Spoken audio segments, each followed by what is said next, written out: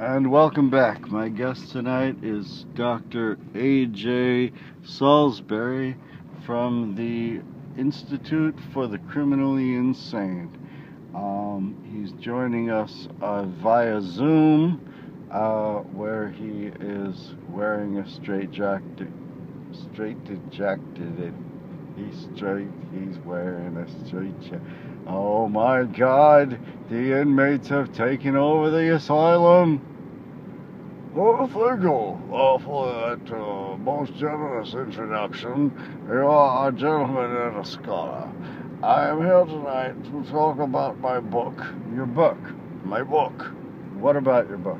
My book is a collection of essays which were penned by me. I penned this epistle. It's a foldable tome. It uh, about the size of telephone book from Southern Belle or even Ma Bell. I see.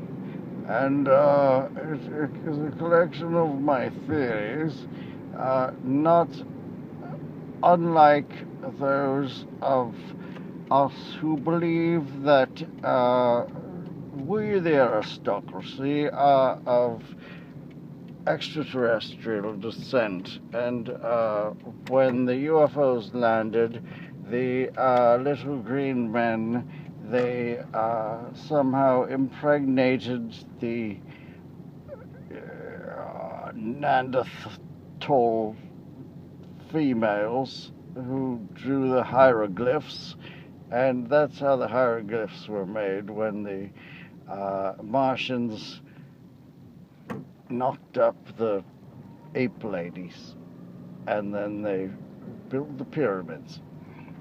I see. Well, there's a lot of people that agree with you, and we have one on the line right now calling from Tacoma, Washington. Here is Phyllis. Hello. Yes, Phyllis. Do you have a question for Dr. Salisbury? Yes, I just wanted to ask him if he ever saw any of those frisbees in the sky with the with the Christmas lights on them. Yes, I have, uh, Phyllis. I have seen many of the frisbees in the sky with the Christmas lights on them.